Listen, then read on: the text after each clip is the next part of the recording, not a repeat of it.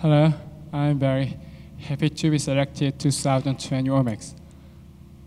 We are Dongyang Gozupa. Uh, Dongyang Gozupa is consists of three instruments: yanggeum, percussion, and bass.